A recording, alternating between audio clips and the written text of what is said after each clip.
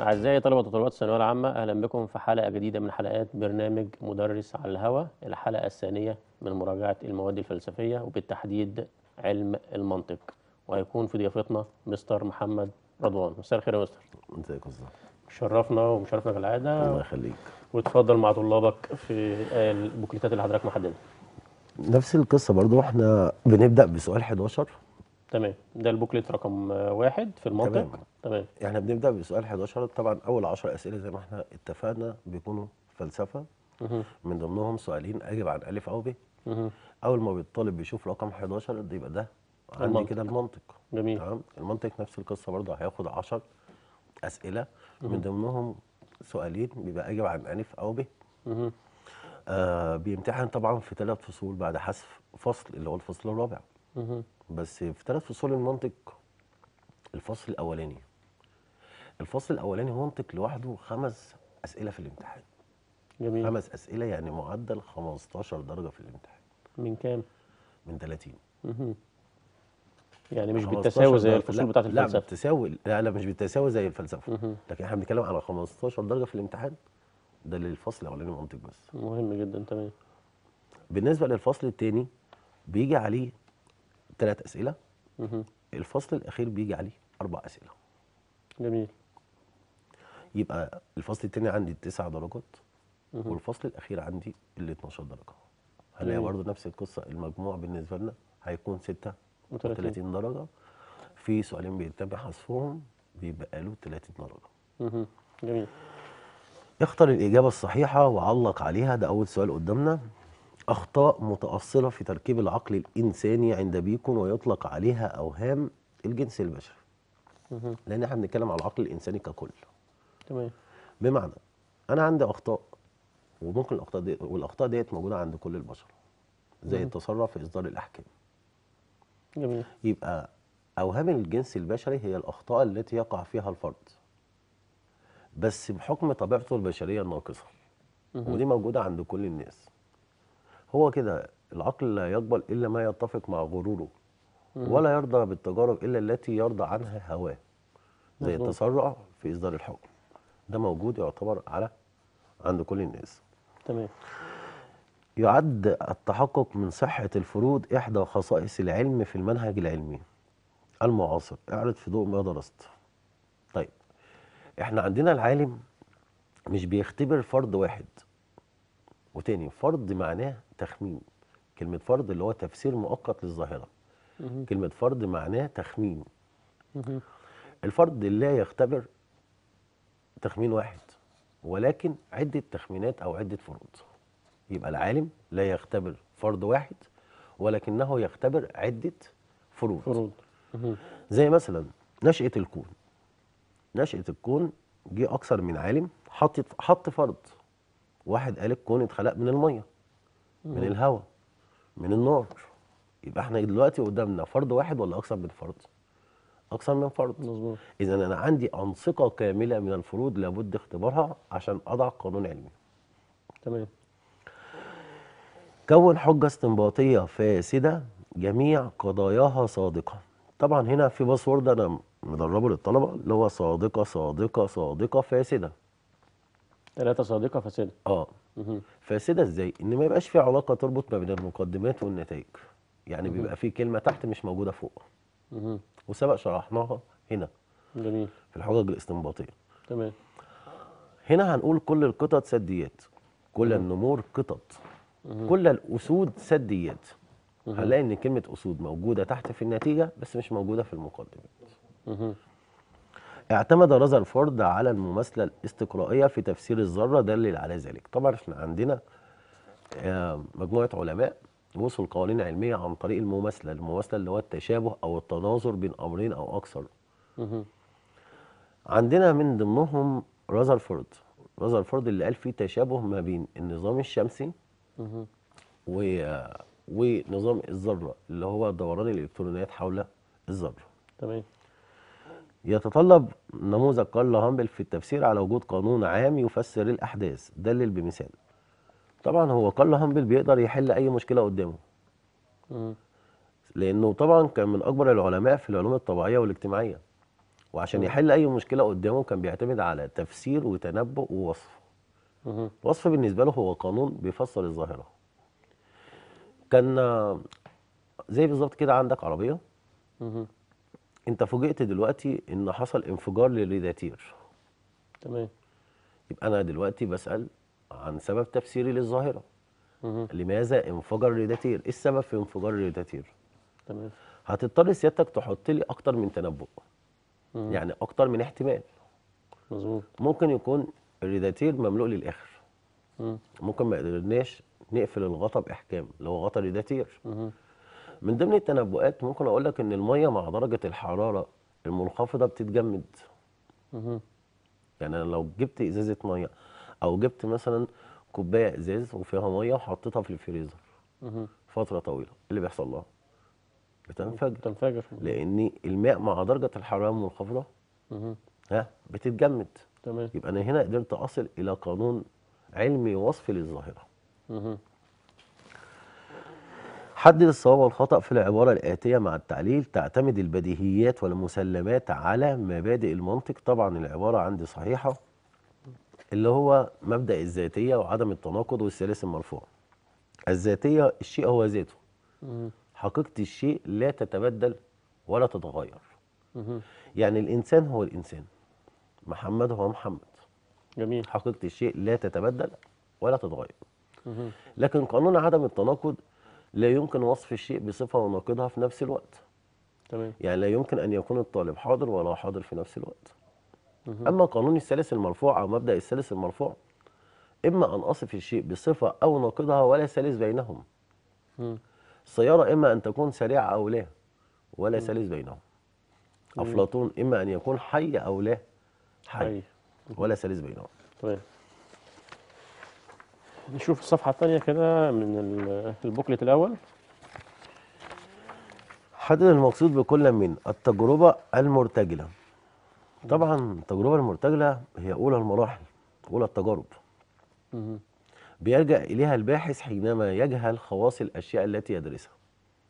يعني مثلا نيوتن كان قاعد تحت الشجرة وقعت عليه التفاح مهم. موضوع جه بالصدفة تمام كان زمان في واحد اسمه عباس بن فرناس.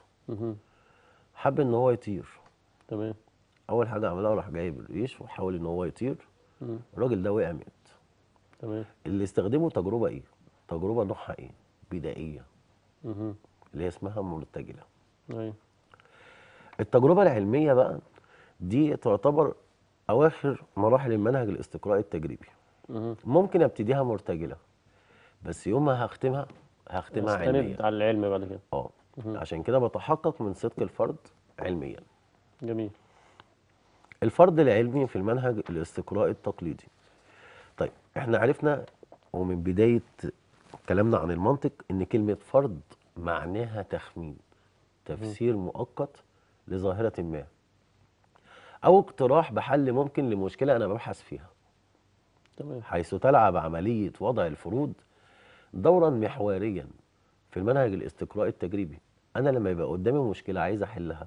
بدور على أكتر من اقتراح. أكتر من حل للمشكلة يبقى دول كلهم اسمهم فروض علمية. يعد الفرد في العلم من المنظور التقليدي فرد من الدرجة الثانية إحنا عندنا من المنظور التقليدي فرد من الدرجة الأولى على عكس العلم المعاصر هو فرد من الدرجة. الثانية استنتج استنتج قيم الصدق صدق القضية الآتية ستزدهر مصر إذا وفقط إذا تم القضاء على الإرهاب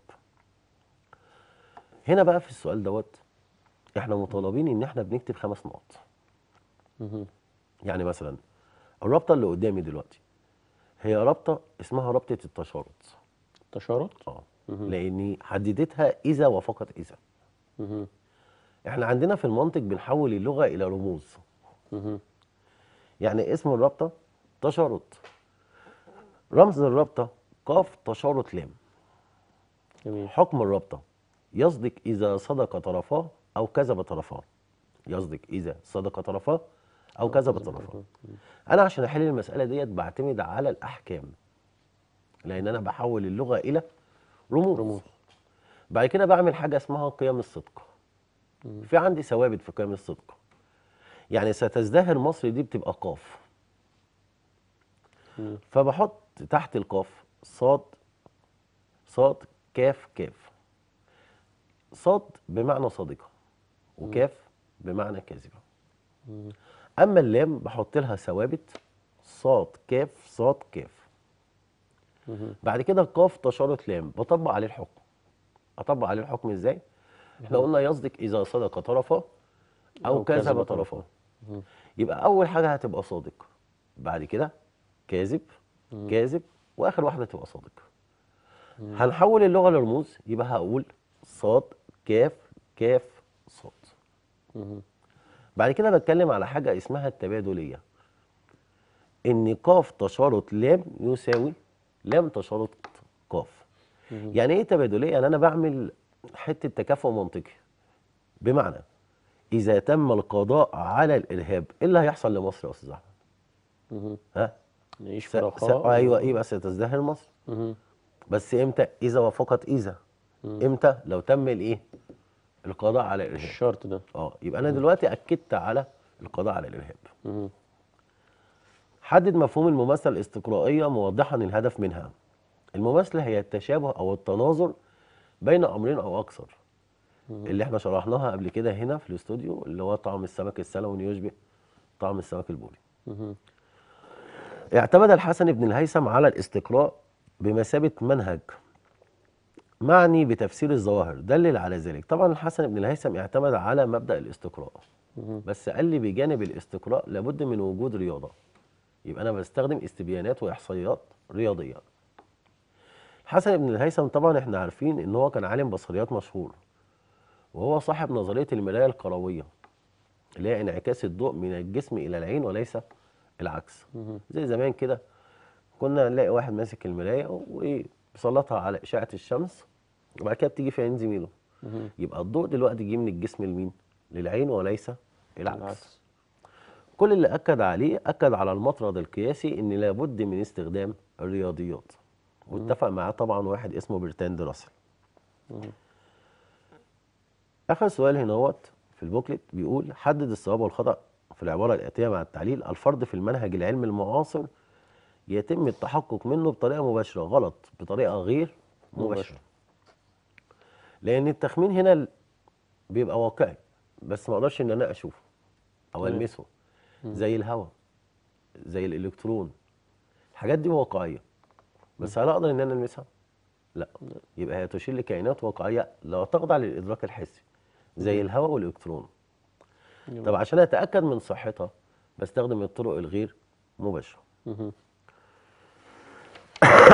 ننتقل للبوكلت الثاني اللي هي صفحة رقم ثلاثة اتفضل يا أستاذ محمد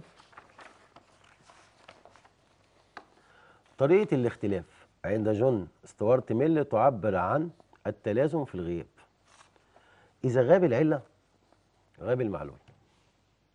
يعني إذا غاب السبب غاب المسبب. تمام.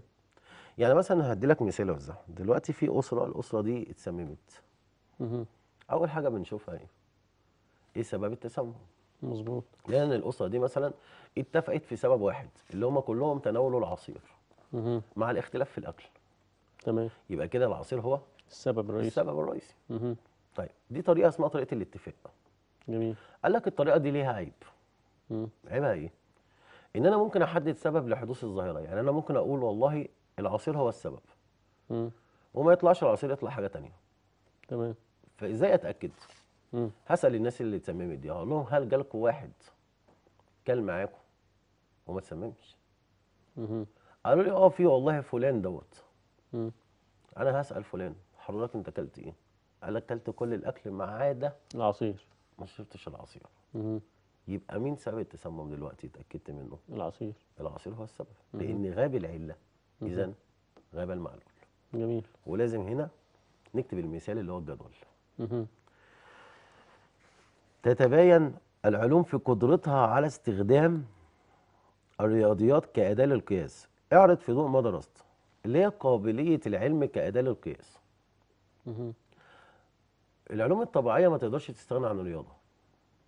يعني الكيمياء والفيزياء ما يستغنوش عن الرياضة لأنها بتثقل قوانين الدقة. يعني مثلا سرعة الضوء 186 ألف ميل على الثانية. استخدمت رياضة لكن أنا عندي في علم النفس وعلم الاجتماع ينفع أستخدم الرياضة؟ لا. لعدم وجود علاقات ثابتة. كون حجة استنباطية صحيحة جميع قضاياها كاذبة. يبقى دي الباسورد بتاعها. كاذبة كاذبة كاذبة صحيحة. تمام. أنا بقول كل المخلوقات ذات العشر أرجل لها أجنحة. كل العناكب ذات عشر أرجل. إذا كل العناكب ذات مهم. هنلاقي هنا صحيحة إزاي؟ صحيحة في الشكل. الكلام اللي تحت في النتيجة هو اللي موجود في المقدمات. إذا هي صحيحة لوجود علاقة تربط بين المقدمات. والنتائج. ولكنها كاذبة برجوعها إلى أرض الواقع. لأن أنا قلت كل المخلوقات ذات العشر أرجل لها. أجنحة. أجنحة. طب هل دوت على أرض الواقع موجود؟ لا. أكيد لا. يبقى كاذب. كل العناكب ذات عشر أرجل. مهم. العناكب ملهاش عشر أرجل. يبقى برضه كاذب. كل العناكب لها أجنحة. العناكب برضه ملهاش أجنحة. أجنحة. اذا هي كاذب. يبقى أنا هنا بفرق ما بين حاجة اسمها صورة ومضمون. الصورة اللي هو شكل الحجة. إن لازم يبقى في تطابق ما بين المقدمات والإيه؟ والنتائج. والنتائج. لكن المضمون اللي هو رجوعي إلى أرض الإيه؟ الواقع. الواقع. ضع القضية الآتية في صورة رمزية ثم استنتج قيم الصدق مبينا التكافؤ المنطقي. إذا أراد الشعب يوما فلا بد أن يستجيب يوما الحياة فلا بد أن يستجيب مهم. هنا القضية قدامي شرطية. اسم الرابطة شرطية. رمز الرابطة قاف شرط لام اللي هو سهم لام. حكم الرابطة يجذب في حالة صدق المقدم وكذب التالي إحنا قلنا عشان نحل السؤال دوت أو المسألة ديت لازم اهتم بالحكم يجذب في حالة صدق مقدم وكذب تالي. إحنا هنا بنحول اللغة إلى إيه إلى رموز, رموز. يعني أنا مثلا عندي دلوقتي قاف لام وبعد كده قاف سهم لام. قلنا يا أستاذ أحمد إن في ثوابت لازم تتكتب في الامتحان بمعنى. قاف ثوابتها صاد.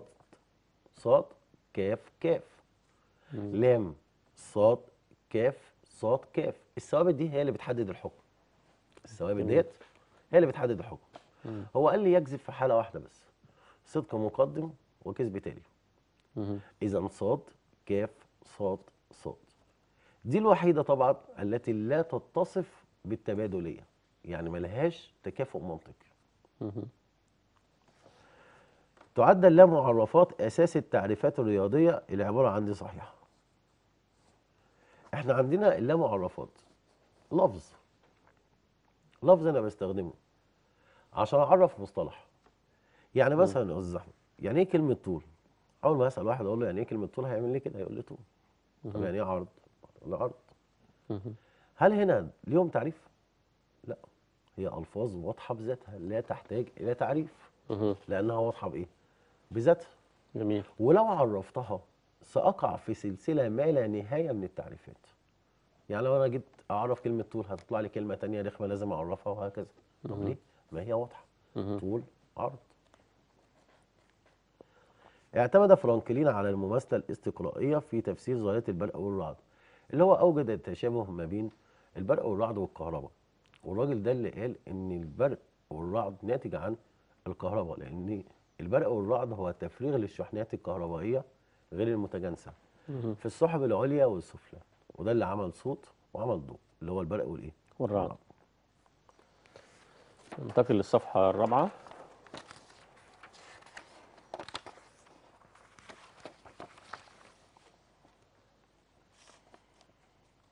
اعرض ثلاثة من شروط إجراء التجارب في المنهج الاستقرائي التجريبي. طبعا يا أستاذ أحمد أنا عايز أعمل تجربة فبالتالي في شروط همشي عليها. مهم. لازم أكون على حياد وموضوعية ما تأثرش بحد وأنا بعمل التجارب. يعني مثلا افتكر معايا في الفلسفة كده اتكلمنا عن حاجة اسمها الاستنساخ. تمام. تمام؟ أكيد الدين بيخالف الاستنساخ. تمام كده؟ لأن ده تدخل في إرادة ربنا. مهم. لا بس هم العلماء قال لك لازم يبقى عندي حياد وموضوعية. ما تأثرش بحد. هعمل تجربة.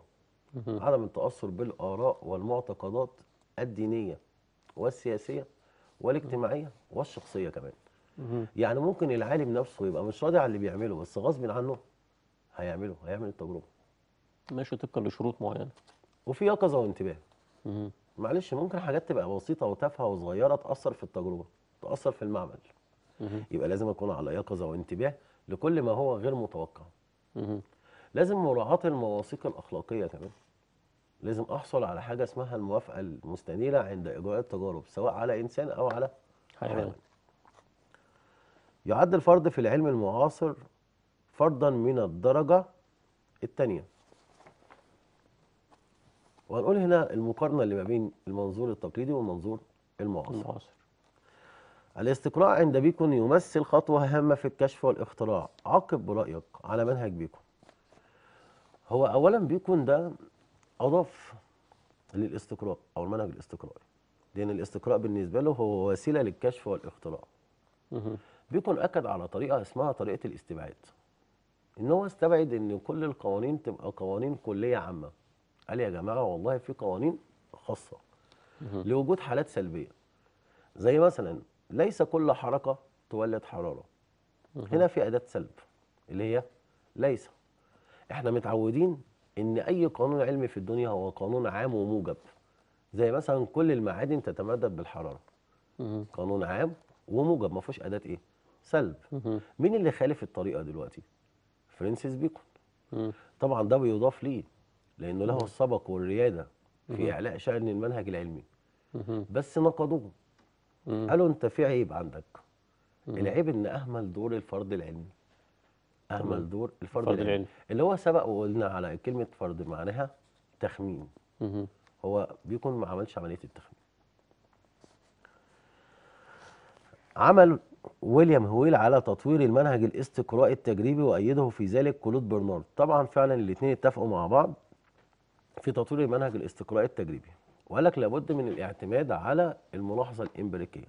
مهم. إن أنا بعتمد على أرض الواقع والملاحظة. هو بيقول لك أي فرد أي فرد لازم يطابق نتائج عشان مم. يصبح قانون. والله الفرد لو طابق النتائج هيصبح قانون. لكن لو ما طابقش النتائج يبقى أنا كلامي تخميني ده غلط. طالما تخميني غلط يبقى أنا قدامي حلين. يا إما أستغنى عن التخمين يا إما أقوم بالتعديل في التخمين. يعني أعدل في الكلام. حدد شروط الفرد في المنهج العلمي المعاصر. آسف في المنهج الاستقرائي التجريبي. اولا أنا في الفرد في المنهج الاستقرائي التجريبي أنا بعتمد على الملاحظة والتجربة. ولازم كمان لما بفترض فرد ما أعرضش حد قديم. عدم التعارض مع الحقائق العلمية المثبتة. إلا إذا كان لدى الباحث أدلة تجريبية واضحة وجديدة. وما ينفعش أعمل عملية تناقض. يبقى خلو الفرد من التناقض. بعض الفروض الصورية تشير لكائنات واقعية تخضع للإدراك الحسي السؤال جه بس بصيغة تانية. تمام هل هي بتخضع للإدراك الحسي؟ هل إن أنا بقدر أشوف الهواء والإلكترون؟ طبعا لا. يبقى لا تخضع للإدراك الإيه؟ الحس الحسي وهنتكلم على التأكد منه بالطرق الغير مباشرة. نشوف البوكلت رقم ثلاثة الصفحة الخامسة اتفضل يا أستاذ محمد اشتراك حالتين من حالات الظاهرة في ظرف واحد عند مل يسمى طريقة الاتفاق اللي هي إذا وجد العلة وجد المعلول. إذا اشتركت حالتين أو أكثر في ظرف واحد معين فإن هذا الظرف هو علة الظاهرة هما كلهم سبب التسمم إن هما تناولوا العصير. أي تغير يحدث في العلة يحدث في معلولها يعبر عن طريقة اتفاق اختلاف التلازم في التغير الجمع بين الاتفاق والاختلاف طبعا التلازم في التغير. أي تغير بيحدث في العلة بيحدث بالطبيعي في معلولها يعني مثلا زيادة الاستذكار بيؤدي إلى زيادة التفوق. زيادة المب... الإعلانات بيؤدي إلى زيادة مبيعات. زيادة البطالة بتؤدي إلى زيادة جريمة. يبقى أي زيادة بيصاحبها زيادة مظبوط أخطاء يقع فيها الفرد نتيجة تأثره بالمشاهير وهي ليست فطرية. طبعا إحنا عندنا هنا هوت اوهام اسمها اوهام المسرح. أخطاء يقع فيها الفرد نتيجة تأثره بالمشاهير المفكرين الفلاسفة. مهم. زمان كانوا مؤمنين جدا بنظريات قدماء العلماء. لا مش دورك إنك أنت تتفرج على مسرحية وتبقى دورك مشاهد فقط. لا لازم تبدي رأي. لكن أوهام المسرح ما فيهاش أي آراء. طب هل إحنا اتولدنا وإحنا معانا أوهام المسرح؟ لا. اذا هي ليست فطرية. حلل وظيفة الفرد في المنهج العلمي المعاصر أو حدد شروط الفرد. هنا بقى قدامنا كذا سؤال. يعني مثلا الفرد في المنهج العلمي المعاصر وظيفته إن أنا عندي قدرة على تفسير الظواهر وبقدر أقدم تنبؤات. والفرد مش تخمين وهمي جسور بل يعتمد على عبقرية عالم. ده وظيفته. حدد شروط الفرد في المنهج العلمي المعاصر. لازم الفرد بالنسبة لنا يكون قابل للتفنيد. لازم أحدد العلاقة ما بين متغيرين أو أكثر. مهم. لازم أنا دلوقتي لما بجري التجربة بيبقى بوصف عالم أو ناظر من العلماء أو النظراء. العلم استجابة لحاجة البشر في فهم العالم وأسلوبه دلل بمثالين. طبعا إحنا عرفنا قبل كده إن العلم بيختلف عن الأنشطة الفكرية الأخرى زي الفلسفة والأدب والأساطير. لأن مين اللي بيوفر تفسيرات موضوعية قائمة على أسس منهجية؟ العلم. العلم. العلم عملية دينامية مفعمة بالحيوية. كلمة دينامية معناها متغيرة. مفعمة مليئة حيوية نشاط. لأن الملاحظات والتجارب تقودنا إلى تخمين الفروض. فتخمين الفروض يقودنا إلى صياغة نظريات. ولما بصل لنظريات بروح أجيب كمان نظريات جديدة. تمام. قد تكون مقدمات الحجة كاذبة والنتيجة صادقة وتظل الحجة صحيحة. دليل بمثال. طيب إحنا بنقول دلوقتي المقدمات الحجة كاذبة والنتيجة صادقة. مهم. يعني مثلا أنا بقول لك كل الطيور سديات. كل القطط طيور اذا النتيجة كل القطط سديات لما أقول لك كل الطيور سديات تلد ولا تبيض يبقى كلامي كذب.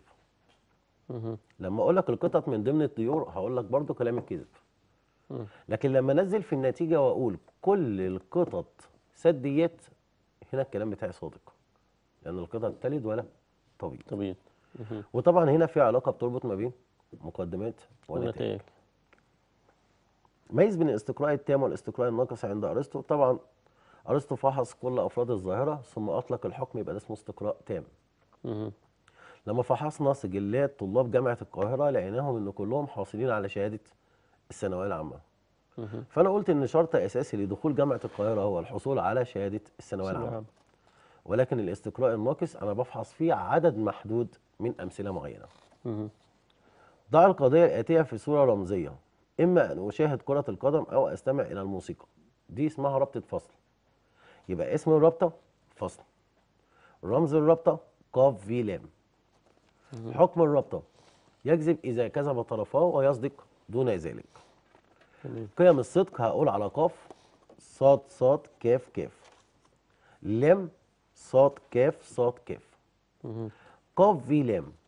إحنا قلنا يكذب إذا كذب طرفاه ويصدق دون ذلك. اذا صاد صاد صاد كاف. وهقول التبادلية اللي هو التكافؤ المنطقي. قاف في لام يساوي لام في قاف.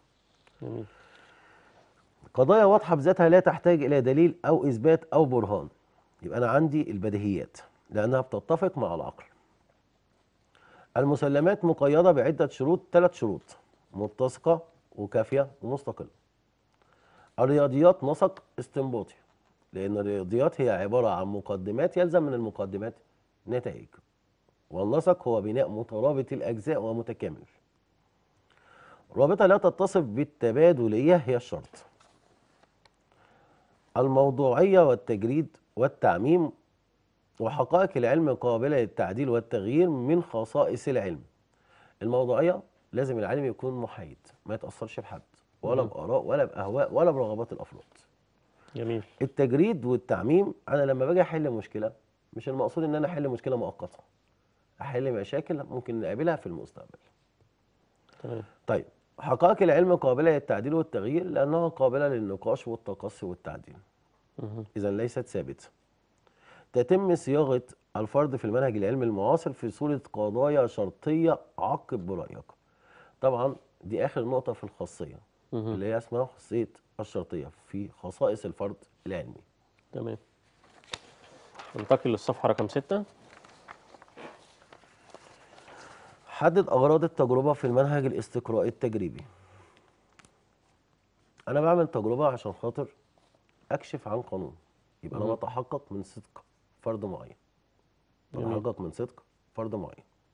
فبالتالي بصل إلى قانون علمي. للعلم معنيين. ليه معنى أول وليه المعنى تاني. التاني المعنى الأول إحنا عرفنا إن العلم ليه طريقة محددة في السعي للوصول إلى المعرفة المنهجية المنظمة مهم. بس ذلك باستخدام قواعد اسمها قواعد المنهج التجريبي يبقى مم. عندي معرفة منهجية منظمة ده معنى أول عندي طريقة للوصول إلى المعرفة العلمية ده المعنى التاني تاني. اللي هو قائم على ملاحظة وفرض وتجربة وقانون. التجربة والملاحظة مرحلتين متتابعين طبعا لأن أنا ببدأ بملاحظة ثم بجري التجربة ثم بلاحظ التجربة. إذا في تتابع ما بين المراحل جميل. أوهام السوء هي أخطار أخطر أوهام بيكون وأكثرها متاعب طبعا أوهام السوء هي أخطاء يقع فيها الفرد بس بحكم استخدامه الخاطئ للغة. عندنا اللغة بتاعتنا فيها ألفاظ ليها أكثر من معنى زي جبن وجبن مثلا. وده طبعا بيؤدي إلى إيه؟ بيؤدي إلى فقدت الألفاظ دلالتها عجزت اللغة عن تأدية وظيفتها. إحنا مم. اللغة دي اتعملت عشان خاطر نتحدث بيها مع بعض. فإذا عجزت. أصاب العلم والفلسفة بالسفسطة والجمود. كلمة سفسطة معناها مجادلة مجادلة مغالطة. الجانب الإيجابي عند بيكون أكثر أهمية من الجانب السلبي. هو فعلا أنا لازم أتخلص الأول من الجانب السلبي وأدرس أي ظاهرة في الجانب الإجابة الإيجابي. وهنا هتكلم على الجانب الإيجابي. أجمع معلومات وأحط المعلومات في ثلاثة قوائم وأحلل القوائم وأصل إلى تفسير نهائي للظاهرة. استنباط النظريات هو إتمام النسق الرياضي. استنباط النظريات يبقى أنا هتكلم على النظرية. تتوقف صحة النظريات على صحة المقدمات. ما برجعش طبعا لأرض الواقع. عالم الرياضة بيتعب لأن هو بيجيب معرفات ولا معرفات وبديهيات ومسلمات. ثم في النهاية بيصل إلى النظريات. ميز بين الاستنباط والاستقراء. طبعا إحنا عارفين الاستنباط بالنسبة لنا زي كل العزاب غير متزوجين أيمن عازب إذا أيمن غير متزوج. متزوج. إذا لا يتجاوز نتيجته ما ورد في مقدمة. مقدمات لكن التاني بيتجاوز نتيجته ما ورد في مقدماته. مقدماته. بنقول المثال بتاع الحديد والذهب والنحاس وهكذا. ميز بين الفصل القوي والفصل الضعيف. إحنا عارفين إن الفصل القوي والله بيفيد الاستبعاد. يعني إما أن تهبط الطائرة في شرم الشيخ أو الإسكندرية. يبقى مكان واحد بس. تمام. على عكس الفصل الضعيف. الفصل الضعيف اللي هو لا يفيد الاستبعاد.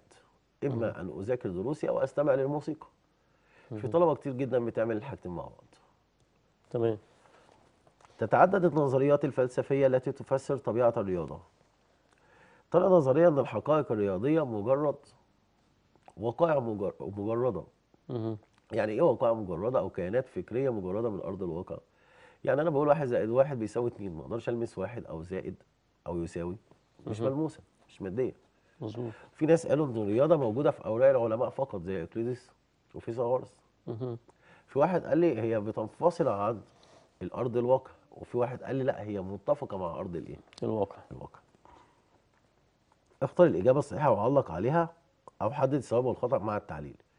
تتم صياغة الفرد في المنهج العلمي المعاصر بصورة تجعله قابلة للتفنيد بس. تعديل كده يا أستاذ أحمد تعديل اللي هي نقطة آه تالت واحدة. اللي هي التصفيف ديت لا اسمها التفنيد التفنيد.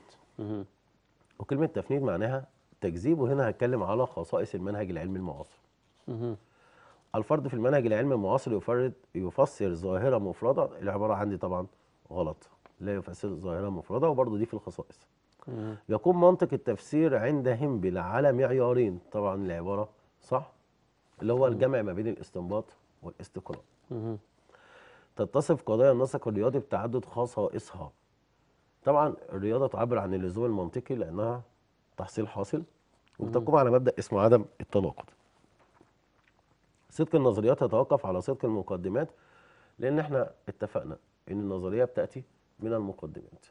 والله المقدمات لو صح يبقى النتيجة صح دون الرجوع إلى أرض الواقع.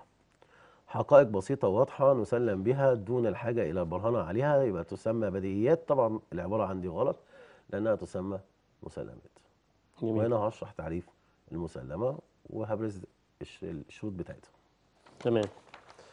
أعزائي الطلبة دي كانت تعتبر برضو أهم 3 booklets أو 3 booklet مستر محمد مجمعهم في فرع ال- المنطق.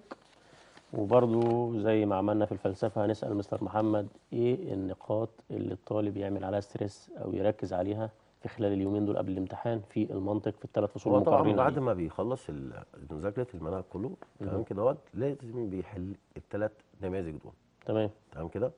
طيب لأن طبعا الثلاث نماذج برضو في شامل ليهم النماذج الوزارية موجودة طبعا في الثلاث ضمن نماذج الأسئلة دي. من ضمن الأسئلة في تمام أسئلة في أفكار كتير. عامة ممكن يركز فيها المنطق بالذات بيبقى عايز ربط أفكار مهم. يعني بنربط ما بين الأفكار مهم. يعني ممكن مثلا لو جاب ورقة وقلم كده بيرتب فكرة تمام فكرة الفصل الأولاني إزاي أبقى عالم طبيعي مثلا مهم. آه عشان أبقى عالم بروح للمنطق فالمنطق هو علم الاستدلال فقسمني استنباط واستقراء وبعد كده بقول الاستقراء تام وناقص. وبعد كده اتعرض لنقد مهم. بعد كده ودونا لحاجة اسمها الحجة والحجة كانت حاجتين استنباطية واستقرائيه واستقرائي وبعد كده رحنا لحاجة اسمها المماثلة الاستقرائية وعرفنا العلماء اللي وصلوا القوانين عن طريق المماثلة. بعد كده قالوا لنا عشان نبقى علماء يبقى لازم نعمل تجارب فودونا للعلم اللي ليه معنيين معنى أول ومعنى تاني. بعد كده ودونا عند واحد اسمه بيكون بيكون آه. فبيكون دوت اللي قبل كده نقد أرسطو. وبيكون على جانبين جانب سلبي وجانب إيجابي إيجابي.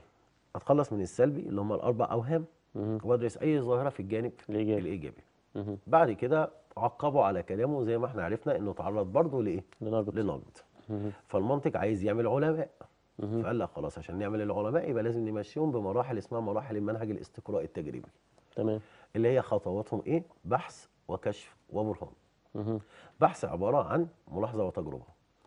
أما الكشف هو الفرض تمام أما البرهان هو القانون والقانون هنا هو ليه شرطين شرط اسمه شرط ضروري. وشرط اسمه شرط كافي. وبعد كده في عندي طرق اسمها طرق جون ستوارت ميل. وفي النهاية ختم بشخصيتين جابر بن حيان والحسن الهيثم تمام طبعا ده قصة الفصل الأولاني. في الفصل الأولاني عندنا حاجات مهمة كتير جدا لأن إحنا اتفقنا إن هم 15 درجة في الامتحان. خمس جزئيات فمهم جدا يعني. طبعا طرق جون ستوارت ميل أو اوهام بيكون. عامة بيبقى عادة كمان بيجوا في السؤال الاختياري اختار ما بين متعدد. تمام؟ في أوهام بيكون وفي طرق جون ستوارت ميل. المماثلة الاستقرائية والهدف منها. آه العلماء اللي وصلوا القوانين عن طريق المماثلة الاستقرائية. تمام. آم، أنواع الاستدلال عند أرسطو. نيجي بعد كده للجانب الإيجابي برضه أيضا عند بيكون مهم. وعرفنا إن الطرق اللي هي سواء طريقة الاتفاق أو الاختلاف أو التلازم في التغير. التلازم في التغير تمام برضه نفس القصة واحدة منهم بتيجي اختيار ما بين المتعدد لأن في وممكن يجيب بيكون سؤال مقالي. ويخلي الاختيار ما بين متعدد اللي هو آه، طرق جون ستوارت ميل. نيجي بعد كده للفصل الثاني الفصل الثاني بيتكلم عن حاجة اسمها الاستدلال الرياضي. طبعا مقدمات النسق مهمة جدا يعني. مقدمات النسق اللي هي معرفات ولا معرفات بديهيات مسلمات. تمام. لازم يختار واحدة. إن شاء الله يعني. تمام. خاصة لو جه قال لي كمان إن البديهيات والمسلمات بيقوموا على مبادئ المنطق. وممكن السؤال يجي فيه شكل اختار ما بين متعدد. أما بالنسبة للصيغ الرمزية سؤال أساسي في الامتحان. هي والحجج. الحجج الاستنباطية. رابطة التشارط. أو ممكن يجيب لي رابطة فصل أو ممكن يجيب لي رابطة شرط أو ممكن يجيب رابطة الوصل. الاربعه هنا هو مهيأ إن هو يختار منهم واحدة. واحد. نفس القصة برضو كون حجة. زي ما إحنا كونا ثلاث حجج النهارده. اللي هي الحجة الفاسدة وهي صادقة والحجة الصحيحة وهي كاذبة. والمقدمات كاذبة والنتيجة صادقة. صديق ده ممكن نجيب منها واحدة إن شاء الله. نيجي بعد كده للفصل الثالث وده الأخير طبعا. الفصل الثالث دوت في المقارنة اللي ما بين المنظور التقليدي والمنظور المعاصر. في خصائص العلم لازم بيجيب منها نقطة وقابلية العلم أداة للقياس مثلا أو الموضوعية أو التعميم والتجريد. تمام؟ بيختار طبعا نقطة أو التحقق من صدق الفروض. آه الشروط. وفي حاجة مهمة جدا لازم الطالب يفرق ما بين شروط الفرد في المنهج التقليدي وشروط الفرد في المنهج العلمي المعاصر. شروط الفرد في منهج العلم المعاصر طبعا مهمة آه شروط التجارب في المنهج التقليدي في الفصل الأولاني مهم. وأغراضها لأن في عندي الشروط والأغراض وشروط التجربة وأغراض التجربة وشروط الفرد هنا بيتم الاختيار ما بينهم في جزئية لازم تجيب مهم. نيجي برضو لكارل هامبل وويليام هويل وكلوب برنار طبعا نفس القصة مهم جدا يعني. مهمين جدا جدا كمان. تمام؟ الخصائص بيجي برضو فيها السؤال عن طريق صح وغلط. زي مثلا السؤال اللي إحنا شفناه يشير الفرد السوري إلى كائنات تخضع للإدراك الحسي. لا. والله لا تخضع للإدراك الحسي. طب يتم التأكد بصحته بطريقة مباشرة؟ لا والله هي بطريقة غير مباشرة. مباشرة. يبقى أنا هنا مطالب إن أنا أكتب الخصائص. جميل. ده يعتبر كده بالنسبة لأهم ال- النقاط على الثلاث فصول. تمام جدا. يبقى المطلوب من أعزائنا الطلبة والطالبات إحنا دلوقتي خدنا حلقتين حلقة في الفلسفة وحلقة في المنطق. مستر محمد في كل حلقة حل 3 booklets 3 booklet فيهم أسئلة مهمة جدا وعقب على كده بعض ال- النقاط اللي عمل عليها stress وطبعا إحنا بنقول الكلام ده مش متوقعات. طبعا الكلام ده بعد ما الطالب المفروض إن هو راجع المنهج بتاعه إيه باستفاضة. وهو لو عايز أي معلومات إضافية أو أي شرح وافي أكتر من كده هيكتب بس على يعمل search على أكاديمية مستر محمد رضوان. فيها كل الفيديوهات بتاعت الشرح على مدار ال- العام ال- الدراسي. في دقيقه كده يا مستر محمد رسائل سريعة طمأنة للطلبة بتاعتك وطلبة جمهورية مصر العربية اللي بتتفرج علينا دلوقتي. إن شاء الله الامتحان هيجي سهل إن شاء الله. آه أهم حاجة طبعا تنظيمك في الإجابة. آه عدم الاختصار عدم الاختصار عدم الاختصار. لا لازم توضح المعلومة كاملة. تمام كده أهوت. جميل. آه بحيث إنك أنت تحصل على كامل إن هو يحصل على الدرجة كاملة. جميل. تمام؟ وإن شاء الله أنا واثق إن ربنا هيكرمهم إن شاء الله رب العالمين ويحققوا نتيجة عالية والدرجة النهائية يجيبوها إن شاء الله. شرفتنا يا مستر محمد ونتمنى نشوفك على طول إن شاء الله. وأعزائي طلبة وطلبه الثانوية العامة تمنيات القلبية بالتوفيق دائما في كل الامتحانات القادمة. شكرا.